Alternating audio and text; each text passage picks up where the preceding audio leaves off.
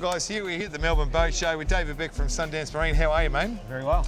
Now, how does it feel to have the best looking boats here at the Melbourne Show? I mean, I'm just saying that I know it might be a little bit stepping on a few people's toes. I'm happy for you to say it. no problem there. Now, I believe this is a little bit of an exclusive. These Invictus boats that we're standing on uh, are pretty much, this is the first show right. in Australia that we've actually uh, had them on display. Yeah, absolutely. Um, Invictus, we embarked upon a, a path of bringing them to Australia now about 12 months ago. I was Yeah. introduced to the brand, um, really fell in love with it. And Well, um, it's hard not to. I mean, they're, they're, pretty beautiful boats. Yeah, no, look, we're, we're pretty excited by them. And um, so, yeah, we wanted to get them here um, into Australia on the boat show circuit. Melbourne was the first opportunity we had to have boats landed and on display, and uh, here we are. Well, I understand. My understanding is that um, I mean this is a pretty glamorous boat to do it with, but you can actually like wakeboarders and skiers and stuff straight off the back of this. Yeah, it was part of the brief. I mean, what he was after was a boat that he could use himself with his wife and his friends, but he's got uh, his sons and their friends that are also going to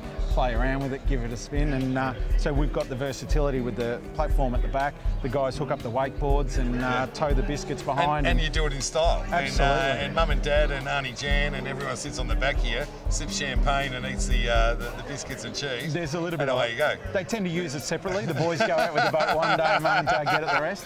I was, But I was um, going to say, it's a pretty. I noticed um, you've got a whole bunch of stuff here, mate. It's one of the most expensive bloody barbecue boats I've ever seen. no, I mean, so I'm only taking it. no, no, no. But Yeah. that's that's the nature of what it is because It's a day boat, isn't it? It is a day it's boat. Get out on the water, enjoy it, take it home at night, park it, and away you go. We're not suggesting it's a great boat when the weather's terrible, but the reality is when the weather's terrible, you're not going boating Nah, for a lot of the time. Yeah. Fishing, different kettle of fish. I understand there's a place for that, Yeah. but the nature of people who are using these types of boats, no, Yeah. it's not what they're after. So what we do is get out there when the sun's shining, spend the afternoon, swim platform off the back, diving off the front, And you're you know, right, plenty of room wakeboarding. for all that sort of stuff. And if you really want to, I guess you can go fishing here. You just don't want to get it on the upholstery, mate. It's, uh, it's a nice looking. That's it. No, you don't don't clean the fish on board. No, that's true. Okay, so listen, if you guys want to find out more about this, we're going to come and catch up with you at the Sydney show because I know Yeah. you got the big one and the little ones we want to have a look at. Okay, great. Um, so where would people find out about you if they're looking at you online right now? Yeah, so Sundance Marine, www.sundancemarine.com.au. Give us a call. Um, we've got a number of guys within our team who'd be happy to help you out.